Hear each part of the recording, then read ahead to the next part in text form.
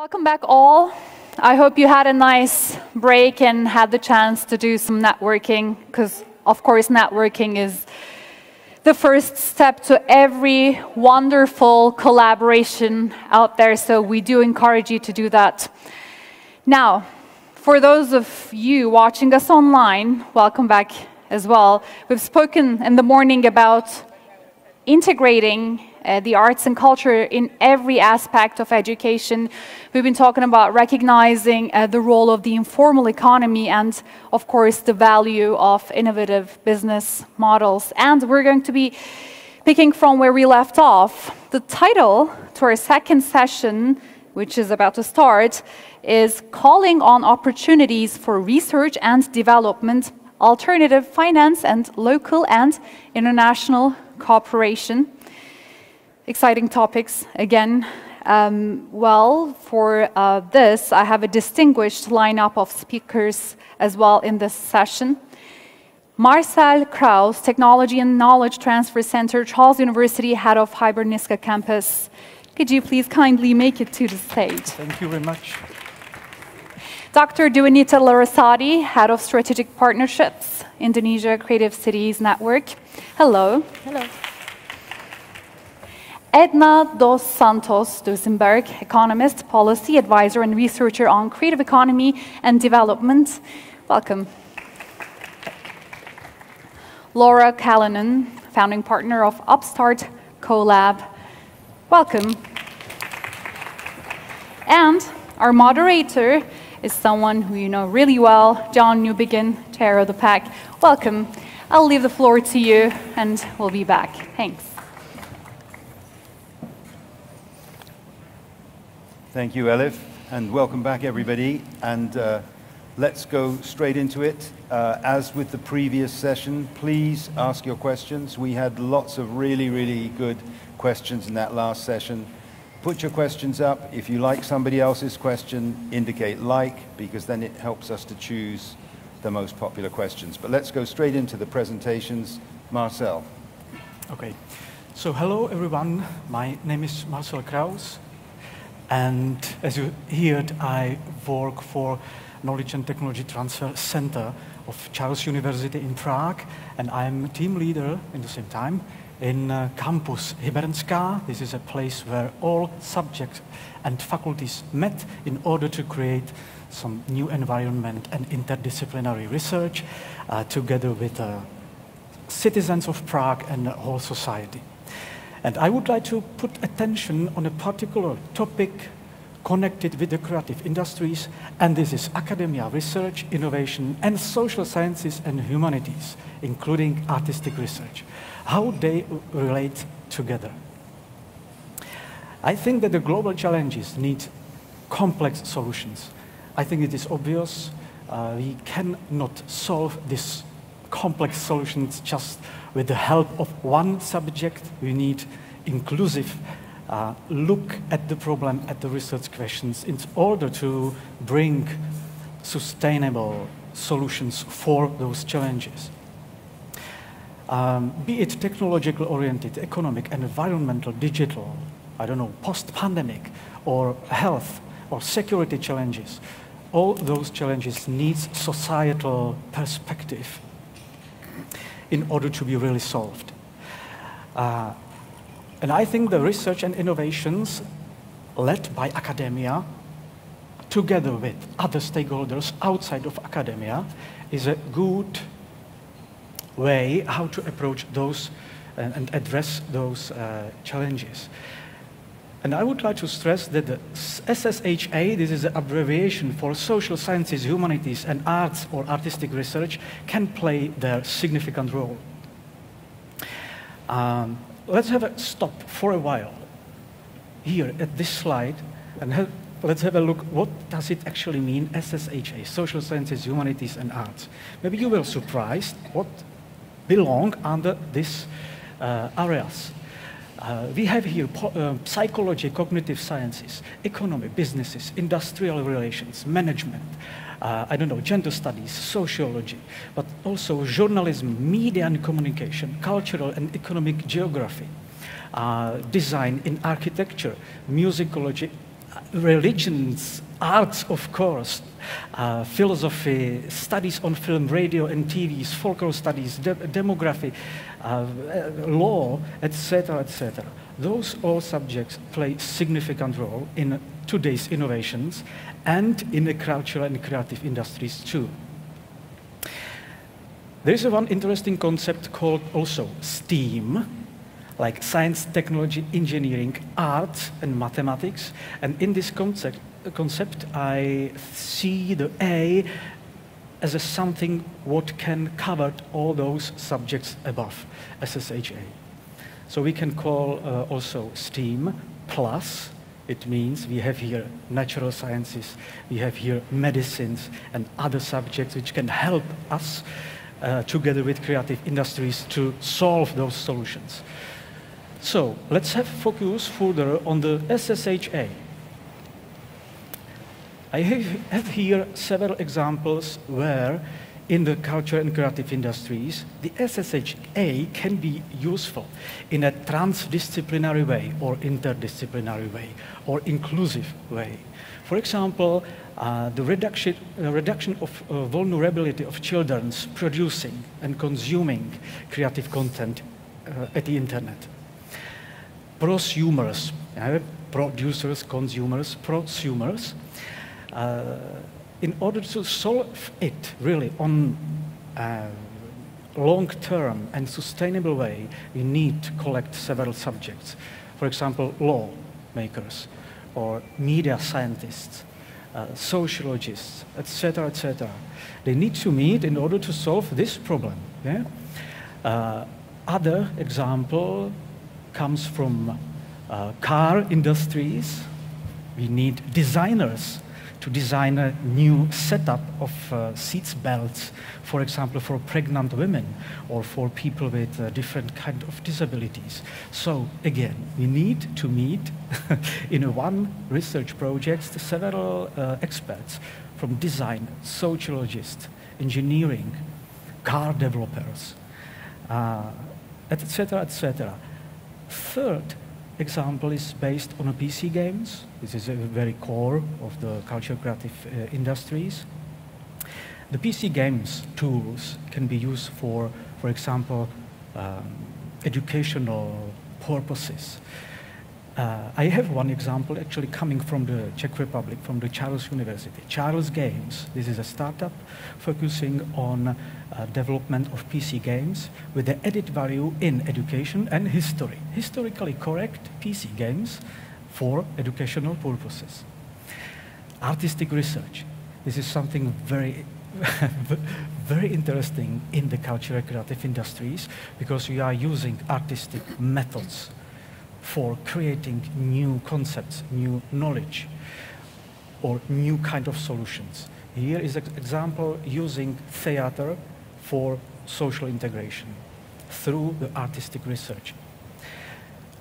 And a fifth example is a use of artificial intelligence for ethical and responsible adver advertisement. Advertisement, other part of the creative industries, but we need to use it ethically or morally correct. But in the same time, we need to put together to one table mathematicians, philosophers, media scientists, for example. So I would like to show with this slide that the interdisciplinary approach and research in academia and with culture creative industries is crucial for solving such challenges which faces today's society. Okay. Uh, we, can, we can say that the activities of cultural creative industries uh, seems in the same time to offer a suitable environment for such a research. It is really not easy to conduct interdisciplinary research, yeah, as such, because you have to understand each other. You have to know how to um, connect different knowledge areas, how to understand between each other about motivations, about the problem solving. It is not easy work, but it pays off. Uh, I think that it can lead to impact-oriented research and innovation in the same time. Yeah?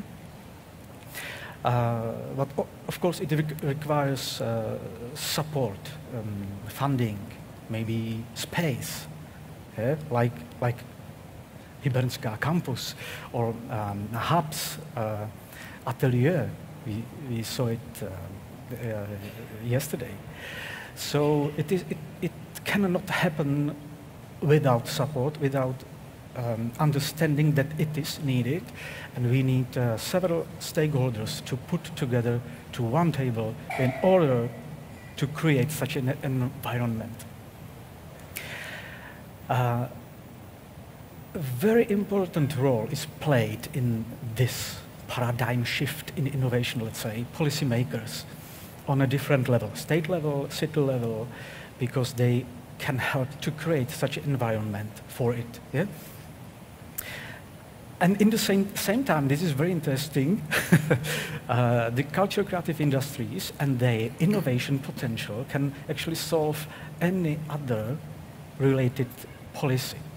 It is not only about the policy for or about culture creative industries, but uh, it relates with education, with um, new workforce policy, economical policy, green economy policy.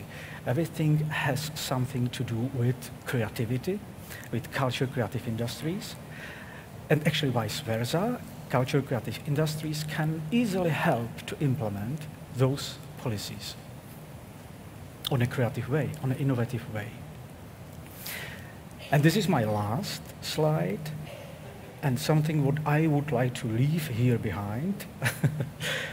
and uh, this is the thing that SSH matters, social sciences, humanities, arts matters, and that it is necessary to emancipate those scientific subjects in the innovation and research ecosystems. It is unfortunately not fully recognized as an equal part to, I don't know, technological oriented research or natural sciences or medicine. Social sciences, humanities, um, arts, it seems not to be able to, to create uh, prosperity or markets. Maybe in the first plan, not. The monetization of their added value is hard, but they can contribute to us other way. For example, by savings of public money, or increasing quality of life, or saving human lives. Yeah? So that's why they are important in the creative ecosystem and the uh, innovation ecosystem too. So let's have a focus on cultural creative industries, social sciences, arts, humanities, and then together we can create new quality of life for today's society. So this, was, this is my message. Thank you. Marcel, thank you. Uh, and in the same way that in drawing up our 11-point global agenda, we noticed that science, research and development in the creative sector is as important as research and development is in science and technology. We also address the question of finance. A different kind of economy needs a different and more varied kind of finance. So next we're going to hear from Laura Callanan on alternative forms of finance. Excuse me. Thank you.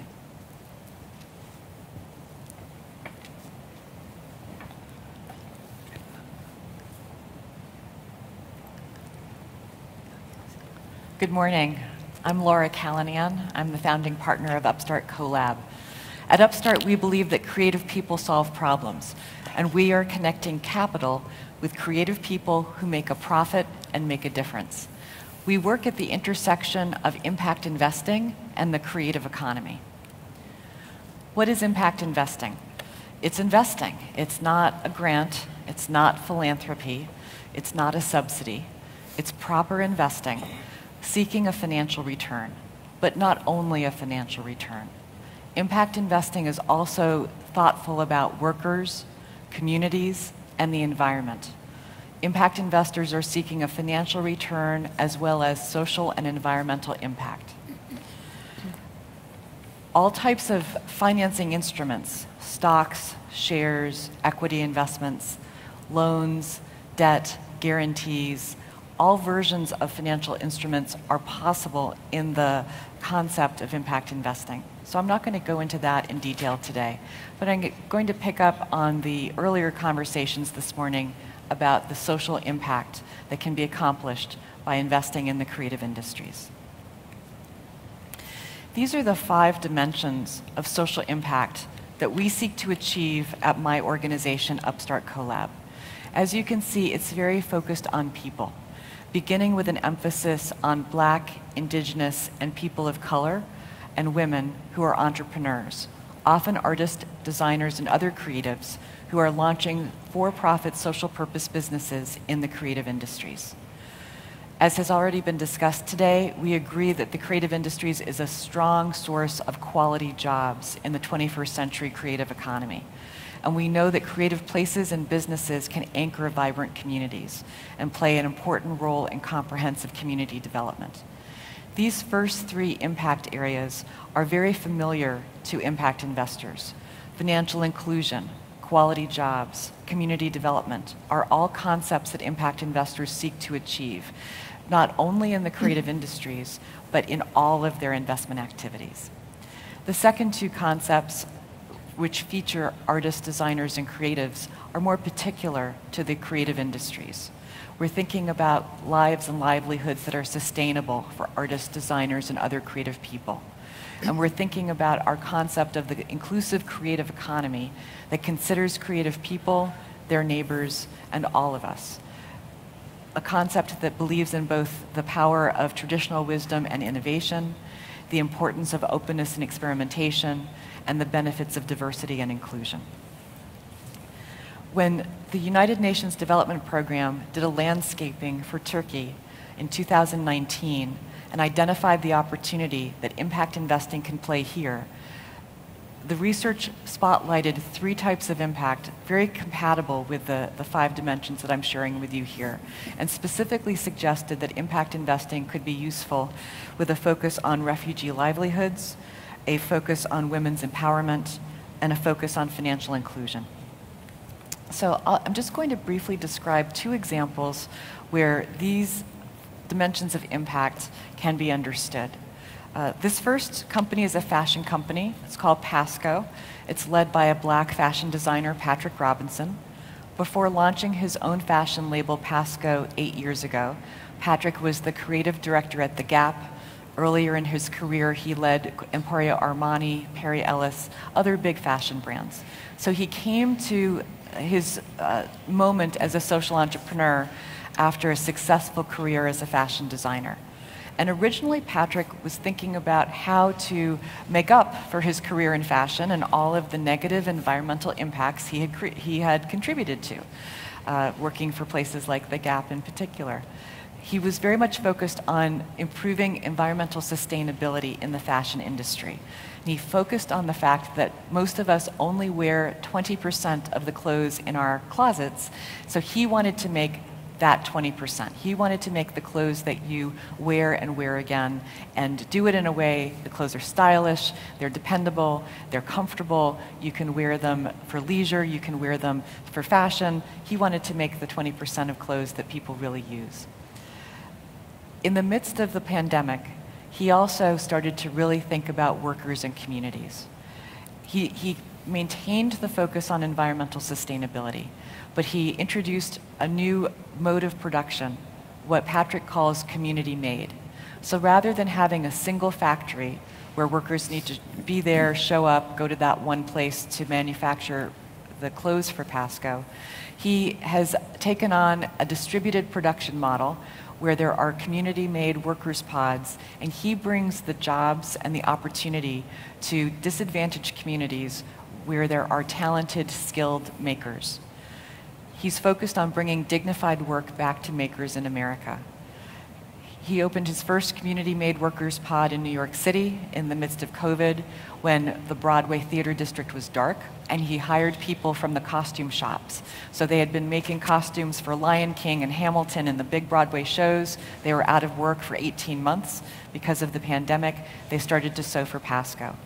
His second workers' pod is in Gee's Bend, Alabama, home of third and fourth generation quilters whose work hangs in museums around the world and is highly valued. But most of the people in this community are living in deep, deep poverty. So there is great cultural wealth, there is little economic wealth. And by uh, bringing the company to this community, he's brought the first new job creation to Gee's Bend, Alabama since the 1960s. He also brought the internet as an example of an unintended positive consequence of this social purpose business showing up. Uh, he brought satellites, put them on the, the, roof of the building that he's renting, that's the workshop and the warehouse, and he brought this community online. His slogan is clothes made like they matter. He's wanting customers to understand and respect the people behind the clothes that they wear. The investors in this company are foundations who think about communities and workers as well as making money on their investment. The second example is led by an actress director named Mary Stuart Masterson.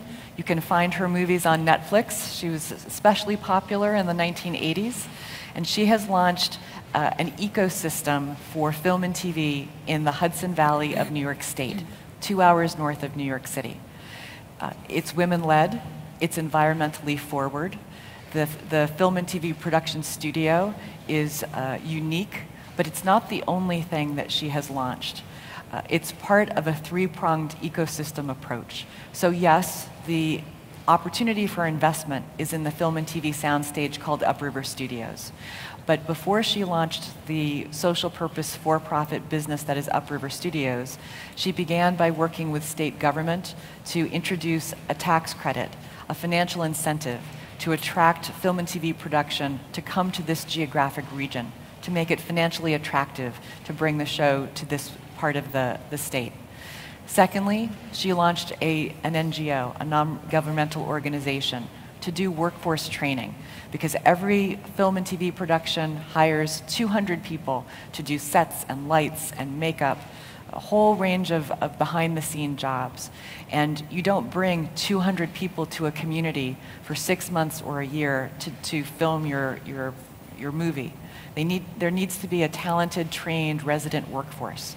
And she wanted to be sure that the people who have the access to these 21st century quality jobs in film and TV production included women, people of color, folks who don't have easy access to these great union quality jobs now the third piece of the, the puzzle was this film and TV production facility.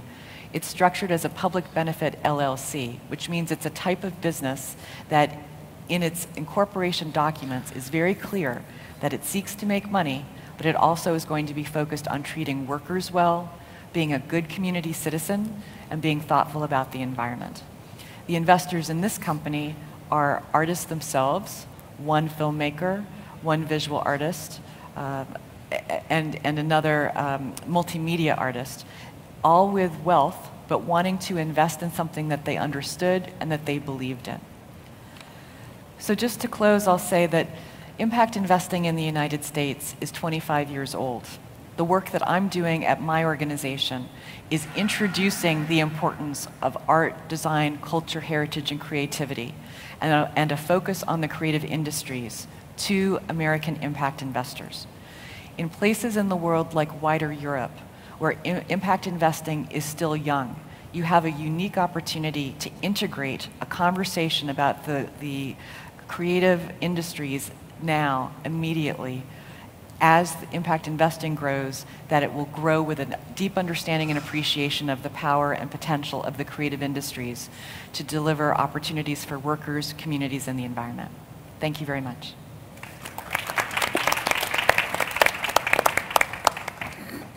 Thank you, Laura. Uh, when we think about policy, as we were thinking about with our 11-point agenda, uh, the temptation is always to think about policy in a national context. But we wanted to address some issues that need to be resolved at an international context and in a local context, and to draw the links between local, national, and international. Because I'm sure everybody here knows that so much that happens in the creative economy and the creative industries happens at local level, uh, so we wanted to address that, regional, city, uh, and locality issues. But also we need to have an international framework of agreements and trade to make this new economy work. So our next two speakers, we're going to hear first about from an international dimension from Edna, and then from a local and regional dimension from Tita. So Edna. Thank you. Can I have this, my slides, please? Well, first of all, my name is Edna dos Santos. I, I am an economist and I developed my career at the United Nations in Geneva, where I set up the first program exclusively devoted to the creative economy. And I was also very proud to launch the very first UN Creative Economy report already uh, in 2008. I also would like to first uh, express my thanks to British Council and all the organizers because we are very happy to be here. I'm very happy to be back in Istanbul and particularly to see that the last time I was here was 10 years ago. We talk about the creative economy. And this time I was very happy because we could see the practice of the creative economy. Particularly yesterday, we saw a number of uh, very successful products. So I think this is why it's so important that we start talking in the international uh, framework and then you see how things are being implemented in practice. So, um, yes. So I would like to, to share some insights on the importance of governance and uh, uh, the international cooperation. And of course, it's uh, very difficult. Uh, I think we mentioned already this morning that uh, our society is going through a very, yes, I would like to, okay. a, a, very important uh, transformation. Yes? Sorry, it's not showing there. Can I?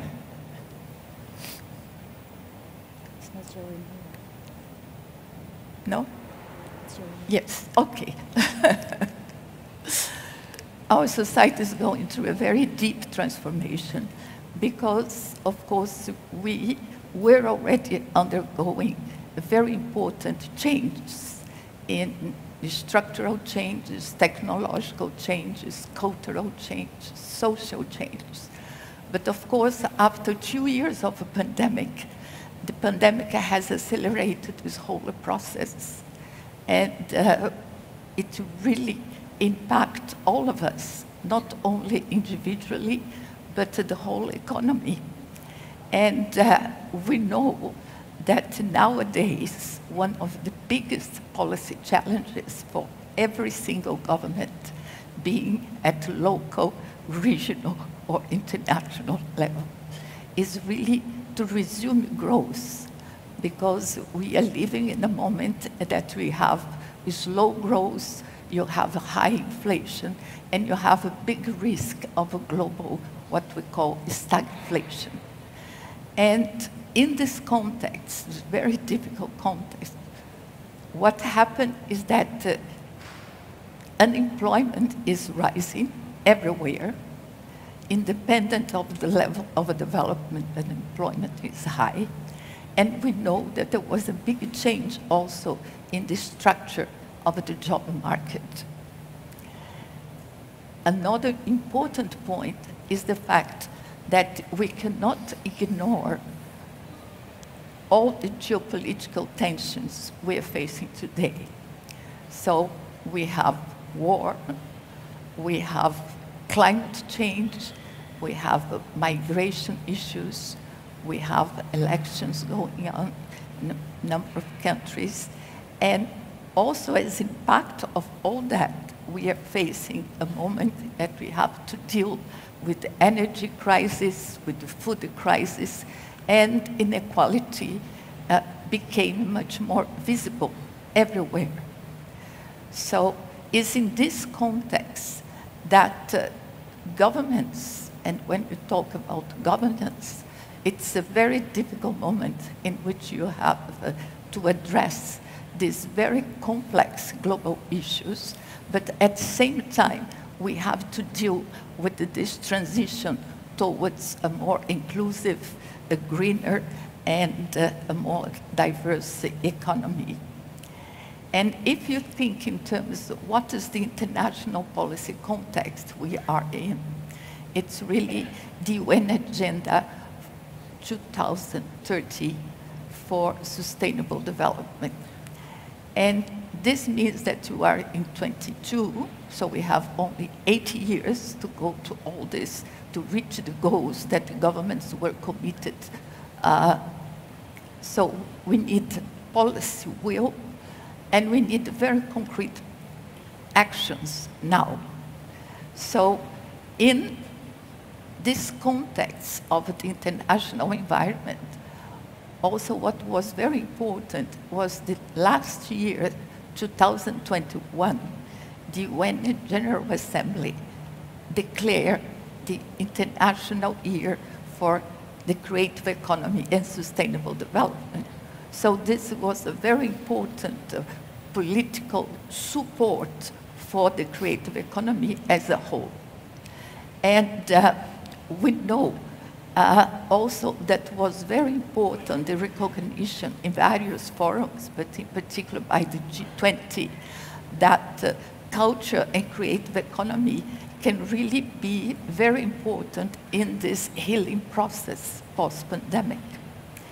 And in this context, it is really time for looking to the creative economy in, with this global perspective so we are not only to the sector, but we are only seeing the creative economy as a strategy that can be used to governments to address a number of issues. And if we ask ourselves, we have been talking about the importance of cooperation, but the importance of international cooperation the importance of a multilateral process.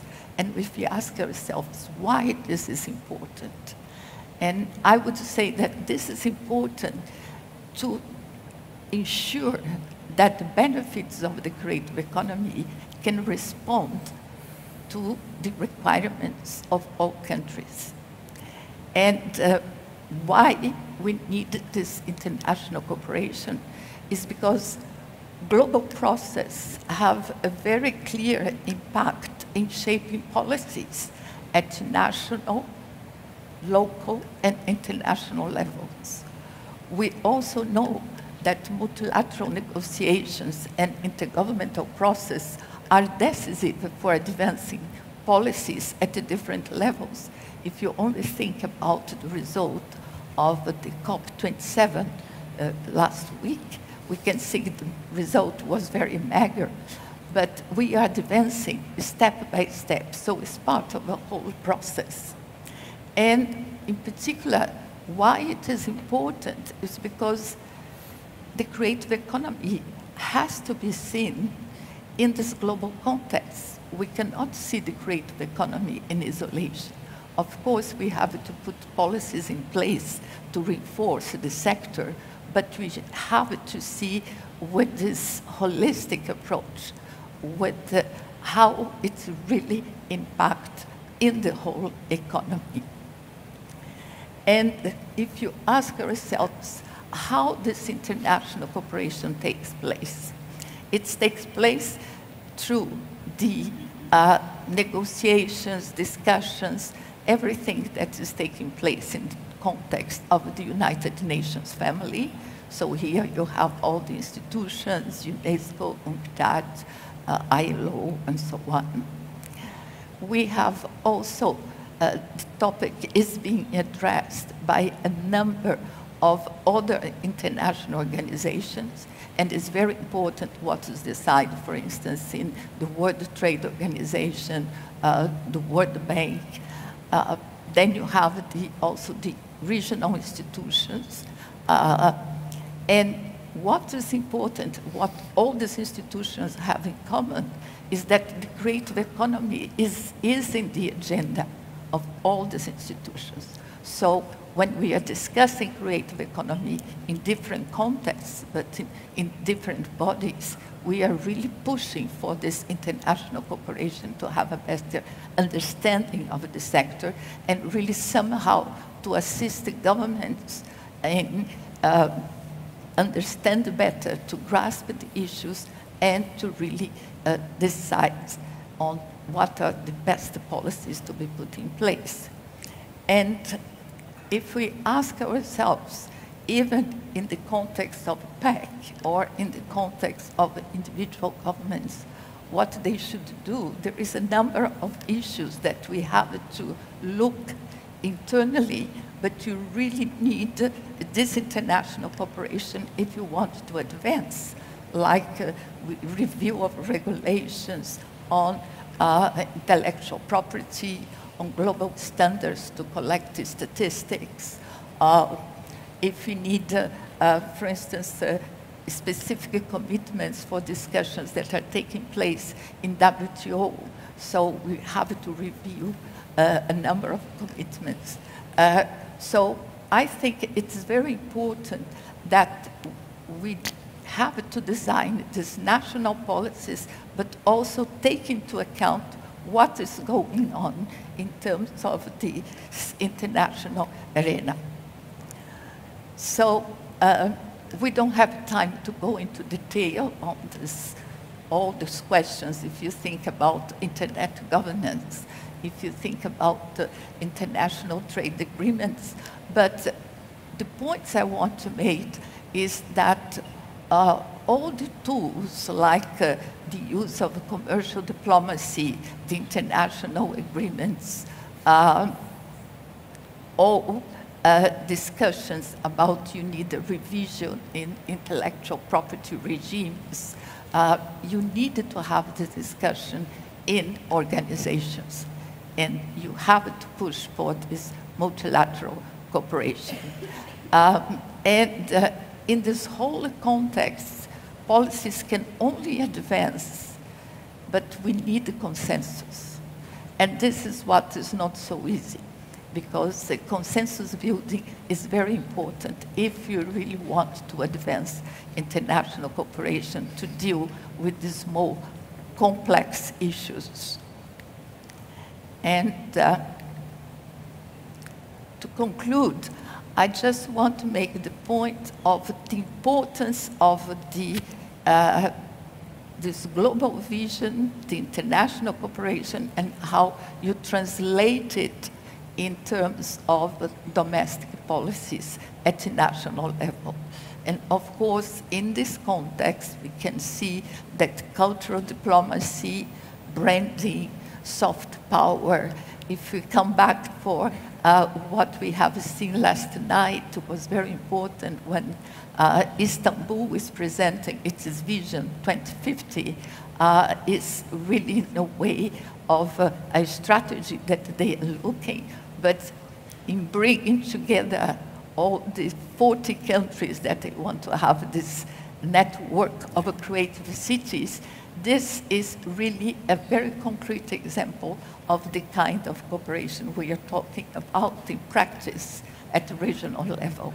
So I just want to make the point that uh, uh, art, culture, and creative products, they are very important soft powers that can help a country to build upon uh, its image and try to do better. Um, it's very important also the whole question of uh, city branding, particularly if you think that in this post-pandemic period, we are rethinking how to revitalize life in cities, and the creative economy really has a very strong role to play. And uh, so I just want to mention that uh, we mentioned before in early discussion the importance of cooperation, but the importance of diplomacy, uh, networks, platforms, uh, co-creations. And I think the fact that during the pandemic we were connected, and I think what was very important in this pandemic is that we realized that culture, connectivity, and uh, creativity were really like a backbone of the society because it was what helped us to feel that we are together even if we were apart. And I think this was very important. And I think despite all difficulties that we are facing uh, to have the uh, creative policies in place, I think what was important was the recognition that the sector is extremely important and nowadays is part of the national agenda in every single country. Because uh, this, and this is very important. So I think despite of the difficulties you might face for financing the sector, we still need to upgrade skills, we need capacity building, and when we talk about capacity building, it's not only at academic level, it's also for policymakers to understand better how the sector interacts with the whole economy, how the sector interacts with the global processes. So in this point, I just would like to say that, uh, for instance, even what was mentioned yesterday, the fact that we are rethinking policies for at city level. And in the past, cities were trying to be smart, but nowadays they have to face the challenge to be at the same time smart, inclusive, resilient, and sustainable. So I think how, I think the bigger question is to see how governments should put in place policies that would at the same time promote growth, but would also look into questions like the well-being, like sustainability, and particularly all these questions that became much more clear that we have cannot be overlooked after the pandemic. So in conclusion, I just want to stress the point that national policies are very important for the global international framework and vice versa because it's very difficult designing national policies if you are not having a better understanding of how this global process interact. Thank you very much for your attention. Thank you, Edna. Uh, and please, as with the previous session, keep your questions coming on Slido. If you like a question that's already there, indicate that you like it, and then we can choose a few questions to address after our last speaker, Dr. Tita Larasati. Tita. Thank you, John. Uh, hi, everyone. Uh, what I'm going to share today is mostly about how community initiatives uh, can influence policy, actually. So uh, my name is Tita. I'm from Indonesia. I'm an industrial designer, uh, lecturer, researcher, but I'm active in communities uh, such as you see here. Somebody usually they mention uh, but that this is creative industries clusters and so on. But we can see that one cluster cannot work alone. It should be intersecting with another. So it's more about also intersection. Um, and uh, the examples coming from Indonesia, the, of course the country I know best because I live there, I, I grew up there, I was born there. Um, with this number, a country with 200 something million people uh, population who speaks 700 something language, hundreds of tribes and so on. Uh, this has become our potential, our richness in getting inspirations, resources, and so on. But at the same time, it also gives us a big challenge in the, in the sense of uh, distributions, access, especially equal access to basic needs, and so on and so on. Um, and we are dominated by young generations. Uh, now they're also having lots of access uh, to internet. And how will they use this new technology? And if we don't prepare them properly, uh, they should actually um, feel the next development and so on. But if they use internet for negative things, then there's also another damage. So that's what we are taking care about. But we're so lucky that um, most of young people in cities, uh, in different provinces, islands, and so on, they realize that we cannot keep relying on income from digging minerals, cutting trees, and so on. So they start uh, moving from this extractive economy to intersecting economy. They start to use their potentials to create, uh, to express themselves, and so on, and monetize them, making them into activities, and so on. Um, but uh, most of them, uh, young people, they then um, form communities uh, in their respective uh, cities and regencies, and they also connect to each other through a network because they need to work together within these industries.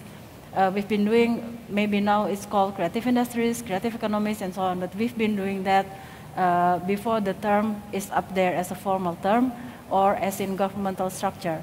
So uh, now that they have labels, they have names, they have to mind what the, nom uh, the nomenclature and on. Uh, our local governments, although the central government already have a ministry for it, already have uh, some department for it at city level, but not everybody really know what, uh, what they should do or how, how should they um, provide facilities and so on to these kind of communities.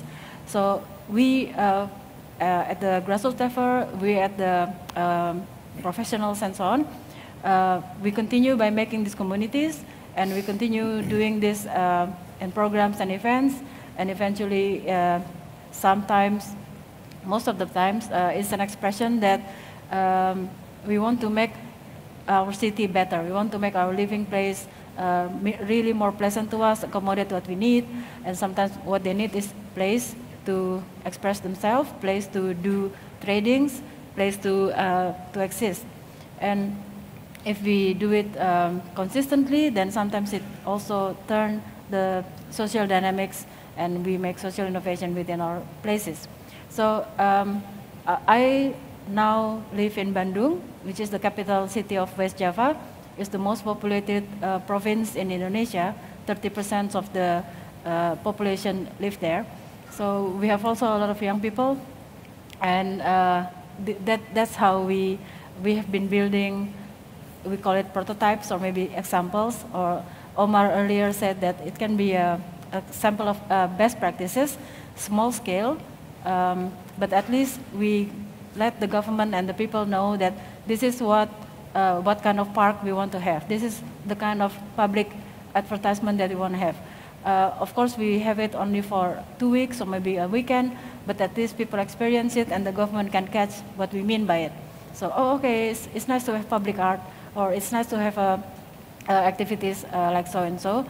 And then, then from those examples, they can maybe adjust it to their policy.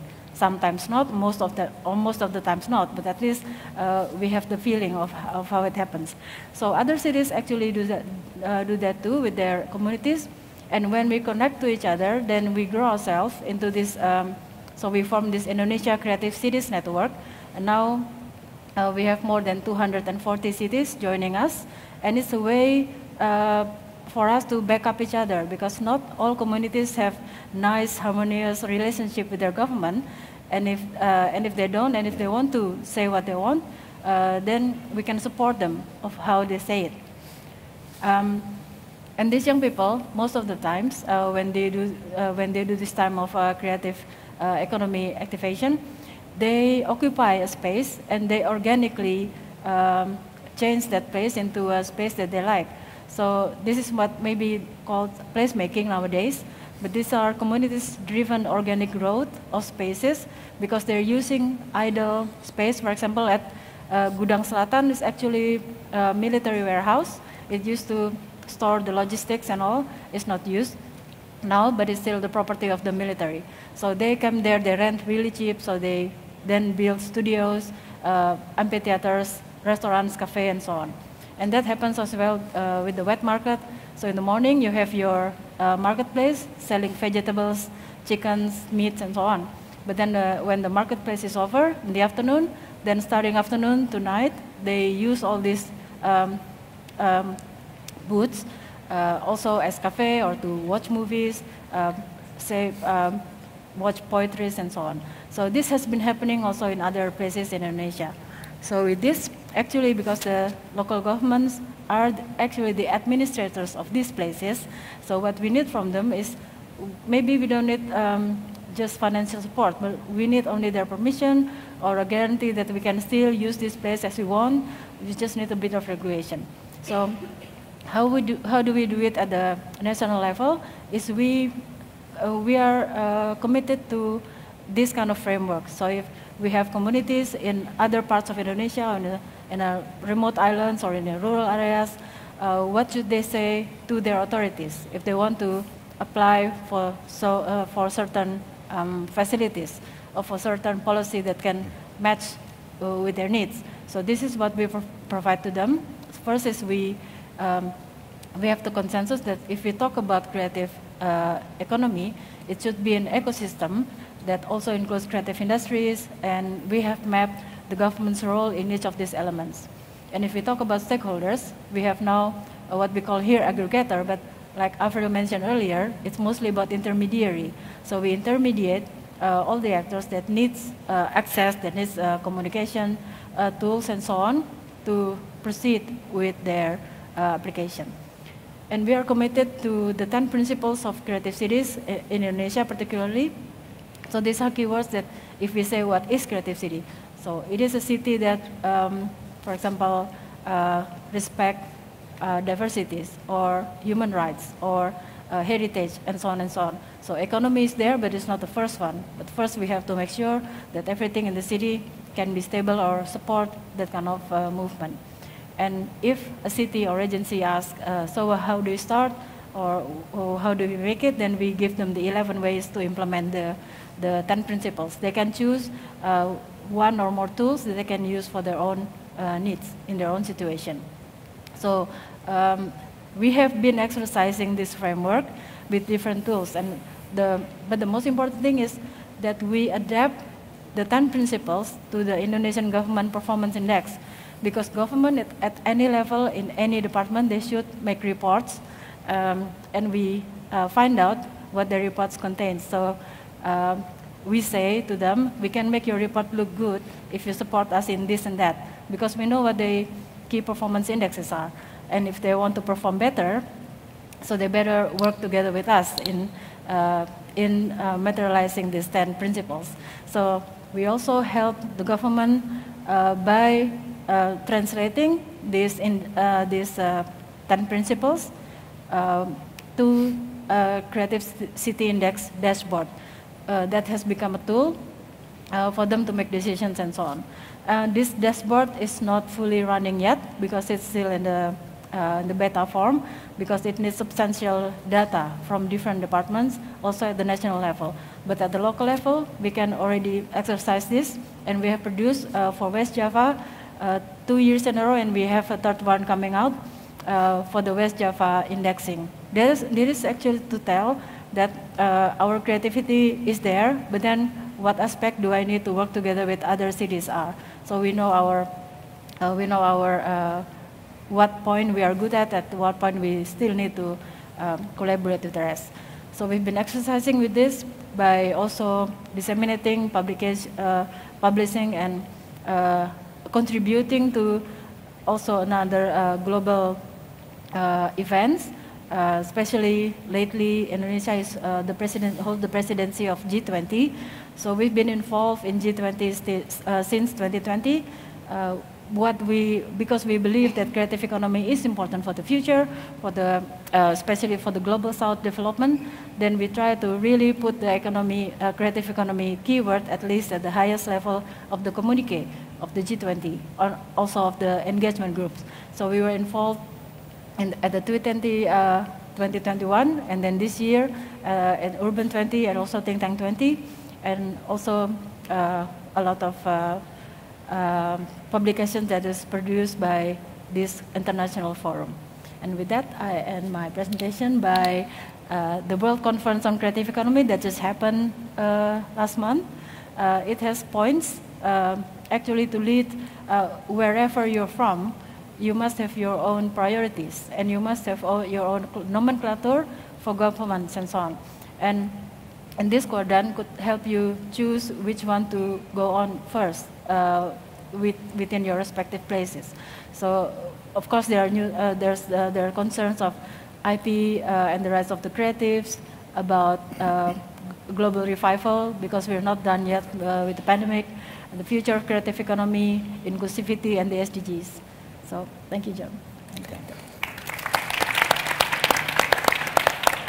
Well, thank you, all the speakers. So uh, let's have some questions. If we have some questions, can we get the questions up?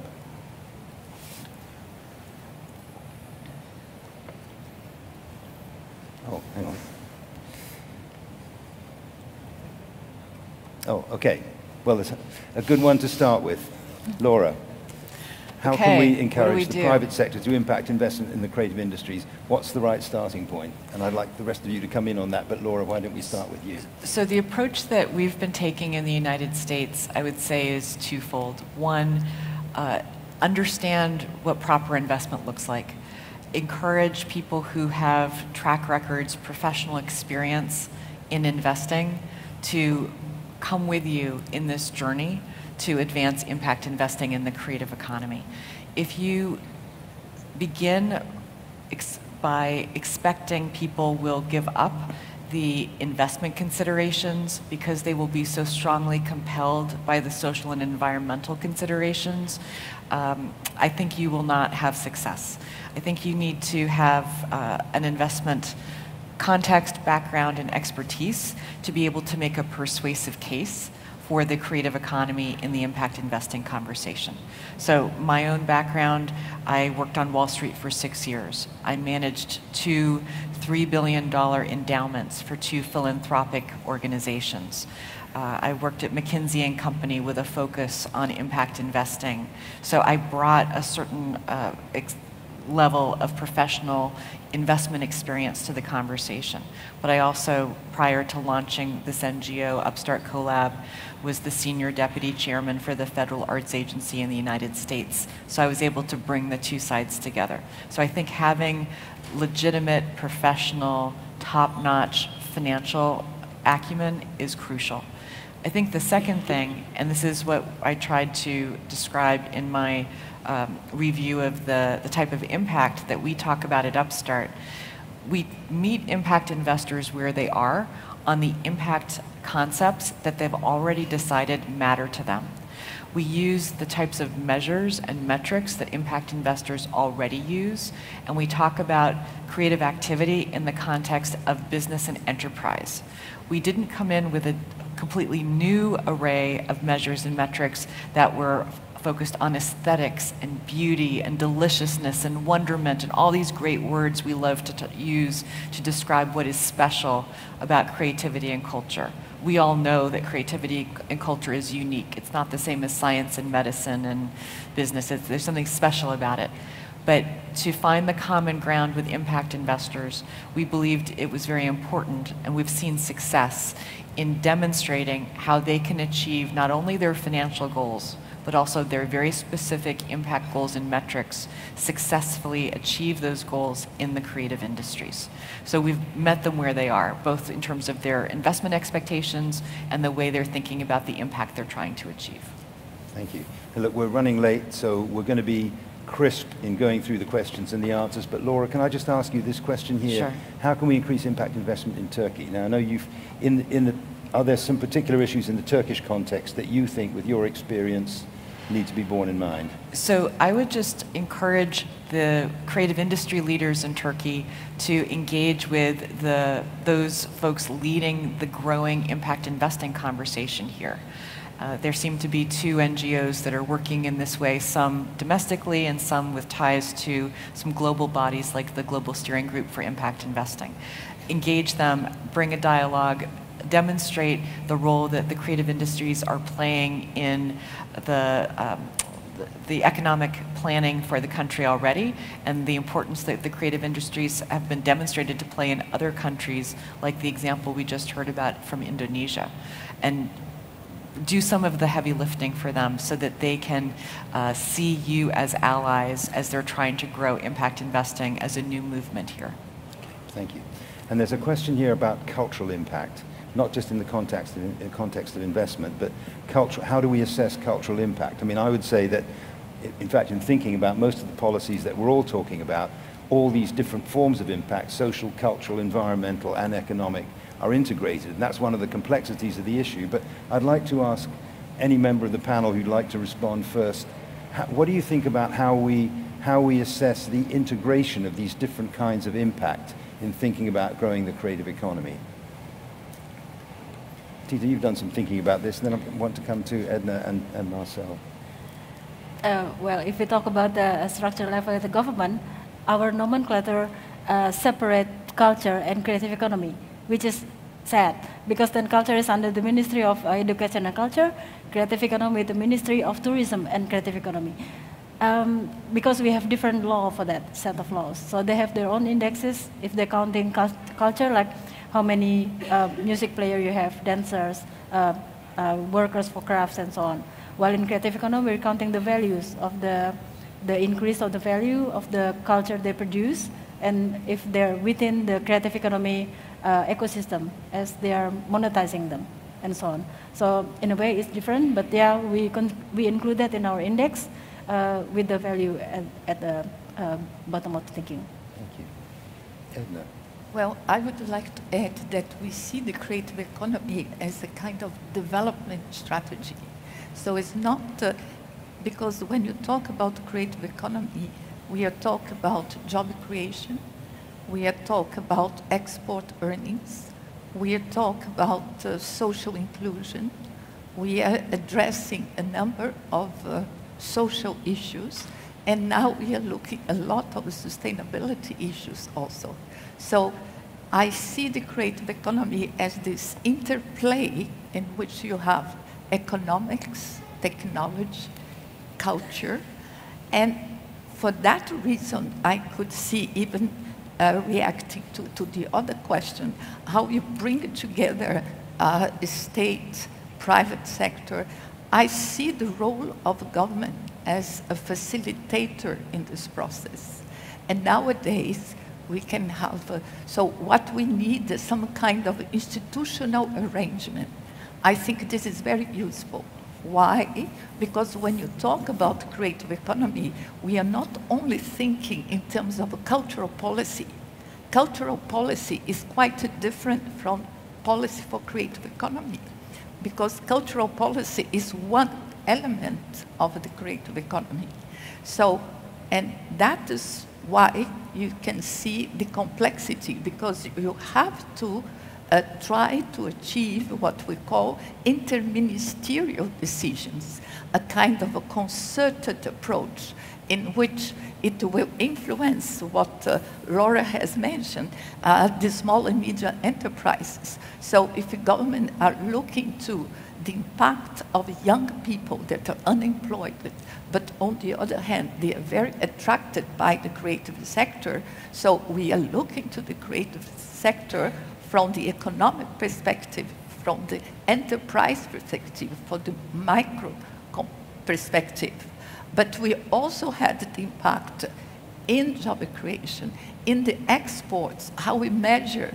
It's quite complex, measure the creative economy, because you, there is not a real consensus on the definitions, on the classification. And in my view, this is not important because what is important is to adapt, to have the shared vision and adapt to the local reality. What are the local reality? What applies to the US is not what applies for Brazil or for Turkey because our realities are different. So I think it's up to governments to really build those policies, trying to have this concerted approach in which you will involve Minister of Education, of culture, of technology. You need, for instance, nowadays, if you don't have a, a digital infrastructure, how can you see uh, creativity flourish? Because you need uh, um, high-speed internet to be creative. Yeah? So it's very important to, to, to really try to bring together a kind of institutional arrangement, can be an interministerial task force, and also I see the creative economy, uh, it's quite important because it really brings a kind of participatory approach. So it's not something that should be imposed top down up, but it's something that will meet in the middle. And I think that is why important. You have to be open to have a dialogue with the sector involving private sector, involving academia, involving the, in particular the creative professionals, the artists, and also having government as a facilitator to facilitate these dialogues and to shape the policies that are needed to support the sector. Thank you. Marcel, do you want to add to that? Yes, I, in my perspective, I think that the impact, impact can, be, can be achieved under several conditions. Yeah? It is um, it doesn't come from, from, from sky or from free. And one of these conditions of, is the common understanding of the problem solving. And I think that we need to combine the creative way how to solve the problems and the way how to really solve uh, step by step. Um, for example, uh, impact is important for investors in terms of uh, impact investment, but also for researchers in research projects. Impact-oriented should be also policymakers. And um, what's the crucial thing is to be able to, to, to create a common understanding how to solve the problems there. I think uh, we've all uh, heard this morning the use of the phrase intersecting used a lot. And I think one of the issues around the creative economy is that it is about intersection. And the one thing that comes clear from all the work that we do, and I'm sure many of you will have the same experience, one thing that came across to us in drawing up our 11-point agenda is the structures of government, the structures of policy are suited for a 20th century economy. They don't think about how we integrate culture, society, ec economy and environment in a way that we need to in the 21st century. But look, I'm going to be very unpopular and draw this session to a close because it, Edna, you referred to definitions of the creative economy. Food is often described as one of the things that ought to be considered a part of the creative economy, and I think we should address the question of food. But before we do that, uh, I'm going to ask Elif just to wrap up the session uh, and thank all our panelists. Elif. Thank you, John, and all of our speakers here today for keeping the time, which is uh, our utmost concern, I guess, at the moment. And of course, we're all hungry. Why not? We're going to go to lunch very soon. I guess a lot of what has been said weaves into one another very um, seamlessly here. I, well, impact was the buzzword, of course, of this session, and how to measure it, how to define it, of course, that needs uh, a lot more time and I guess more um, uh, context to unpack. However, Marcel, the point you made about impact-oriented research and innovation, how it can solve many of today's uh, societal problems was, I guess, the key message of uh, your presentation. The, the, problems, of course, Edna, uh, you know, gave us a sense about, you know, how deep of a transformation our societies are going through right now, and um, how the biggest challenge uh, for governments is to resume growth.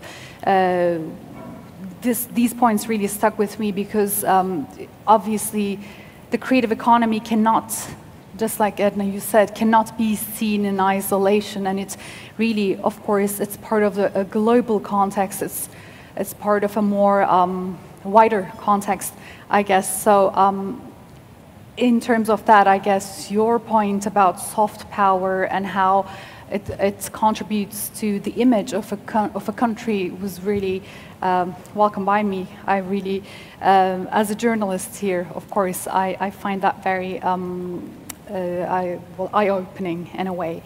And Laura, obviously, uh, the points you made about the social impacts um, the creative industries can deliver, and the you know the list, I mean, the bullet points that you gave, of course, are very. One thing that um, comes clear of that is the social impact that can be achieved uh, by um, investing in creative industries is key, important. It's very important and it needs to be stressed once again. And thanks so much for doing that. Again, as I said, all of them really um, weaved in very nicely in my eyes. Doing of course, the, the need for action at local, national, and international uh, level, and you know how to get all of three, all of these three levels in some kind of a harmony is, of course, uh, not to be missed as well. I'm not going to take more of your time, just like John announced uh, you know, a few minutes earlier. We're getting hungry, time to refill our energy stores. Lunch will be provided at the Meydan foyer area. You can reach the location by taking the stairs and lifts at the back of the room. And then I will see you down there at the lunch. There will be a very nice musical performance. Thanks so much for attending this session. Thank you.